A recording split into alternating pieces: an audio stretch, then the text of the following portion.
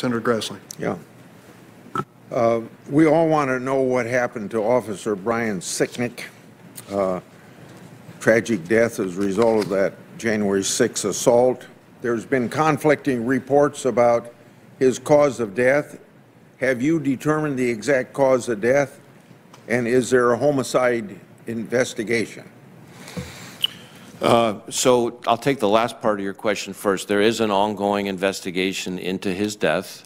Um, I have to be careful at this age, because it's ongoing, not to get out in front of it. But I certainly understand uh, and respect and appreciate the the keen interest in what happened to him. After all, he was here protecting all of you. Uh, And as soon as there is information that we can appropriately share, uh, we want to be able to do that. But at the moment, the investigation is still ongoing. Uh, So does that mean, since the investigation is going on, you have not determined the exact cause of the death? Uh, That means we can't yet uh, disclose uh, a cause of death at this stage. But you have determined the cause of death. I I didn't say that. We're not at a point where we can disclose uh, or confirm Okay. a cause of death. Uh, It's important for the committee to fully understand the FBI's caseload regarding domestic extremism cases. I have a series of data-driven and data-centered questions for you that I'll give a list of these in sequence. I'd prefer the answers now, but if you don't have them, I'll accept those answers after the hearing as long as you commit to do so. So this is a series of questions. What percentage of your investigation regarding January 6 are predicated as racially motivated violent extremists or white supremacists originated individuals? Secondly, what percentage of our other extremist ideologies for domestic violence extremists, homegrown violence extremists, and international extremists? How many total FBI investigations are ongoing? And of that figure, one, how many are motivated by jihadist ideology? How many are motivated by white supremacy ideology? And how many are motivated by left-wing anarchist ideologies? We need data, and I hope you see our need for this data. So uh, can you answer those now, or do you want to get back in writing? Uh, Well, I will certainly get back to, I'm aware that, uh, that we've gotten a letter that goes through in quite detail a number of specific data requests, uh, and we're working on that uh, response uh, as we speak. There are probably some things I could say uh, sitting here right now. Uh, As I said to the chairman, although I don't have the percentage for you, uh, the uh, attackers on January 6th included a number, and the number keeps growing as we build out our investigations of what we would call militia violent extremism. Uh, And we have had some uh, already arrested who we would put in the category of racially motivated violent extremism, white uh, as well. Uh, Those would be the categories so far that we're seeing as far as January 6th. Now, looking back, bigger picture, because I think the rest of your question goes more to our caseload overall, um, I could say a number of things on that. Uh, In terms of domestic violent extremism, domestic terrorism, uh, that number is now, has grown steadily uh, on my watch. So I've, we've increased the number of domestic terrorism investigations from around a 1,000 or so when I got here to up to about 1,400 at the end of last year to about 2,000 now. That's domestic terrorism overall.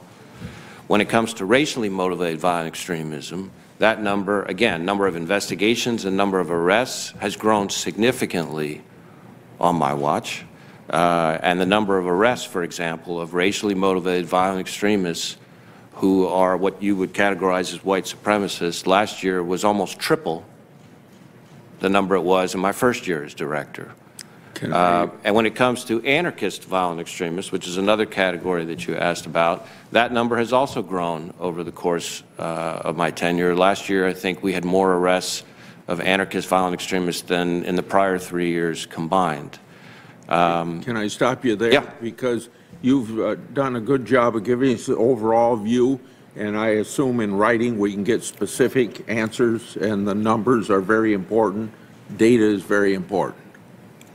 Uh, Former acting DHS Secretary Wolf has stated, quote, or not quote, that the lack of vi- visibility into the anarchist extremist movement may have caused the federal government to be underprepared for the riots this summer.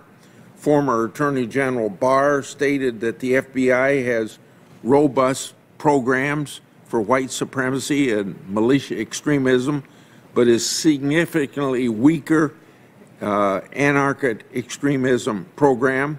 So unless you disagree with Wolf or Barr, how do you plan to make your left-wing anarchist extremism program as robust as your white supremacy and malicious extremism program?